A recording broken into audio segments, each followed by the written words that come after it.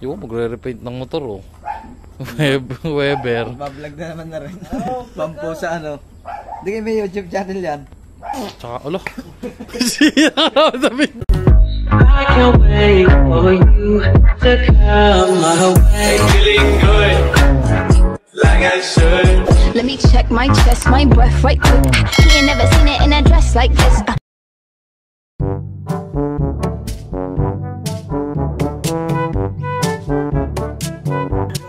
Panibagong araw na naman. Kami yung mga taong walang muka sa buhay. Samahan nyo kami. Let's go. Kung makikita nyo si Boss nga nga may hapong kutsilyo.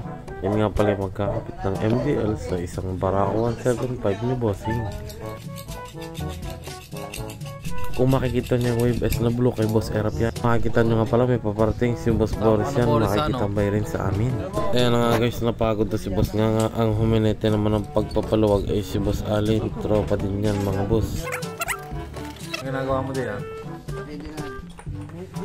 DIY kabit, mini driving light. Kami nga pala pinanonood lang din sa YouTube kung paano magkabit niyan. Totoo na, marami na din kaming nakabitan yan at okay naman yung kinalabasan. Bili nga pala dyan ay parang 700 kasama ng mga relay, switch at yung mismong MDL. At yan, tinanggal na nga pala yung cowling ng barakos. Simulan na yung wiring ng boss nga nga. Manawagan ka para may magpakabit. Sa buhay, piliin mo lang maging masaya at dapat wala kang tinatapakang tao. Sa gayon ay gaganda ang buhay mo at syempre marami kang magiging kaibigan.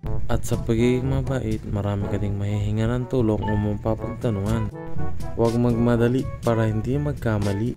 Sabi nga nila, best thing in life comes to those who wait patiently. Isihan mo lang ang buhay.